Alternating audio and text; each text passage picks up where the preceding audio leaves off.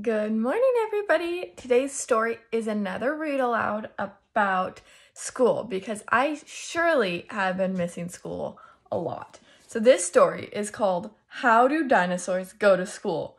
And it asks a whole bunch of questions about what they think dinosaurs would do, and then it tells you how they really would act. So, I can't wait to see what you think. How Do Dinosaurs Go to School? by Jane Yolen, illustrated by Mark Teague. How does a dinosaur go to school? Does he walk? Does he ride in a busy carpool? Does he drag his long tail? Is he late for the bus? Does he stomp all four feet? Does he make a big fuss? When he gets to the school, does he roughhouse and punch? Does he make a quick grab for a classmate's packed lunch? Does he race up the stairs right ahead of the bell?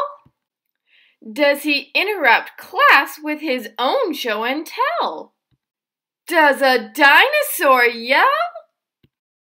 And when in the classroom, plunked down in his chair, does a dinosaur fidget, his tail in the air? Does he growl during chalk talks or roar out of turn? Does he make it too hard for the others to learn? Does he stir up the classroom by making a noise? Does he tease all the girls? Does he pick on the boys? No. A dinosaur carefully raises his hand.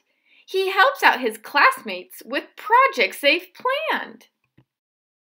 At recess, he plays with a number of friends and growls at the bullies till bullying ends.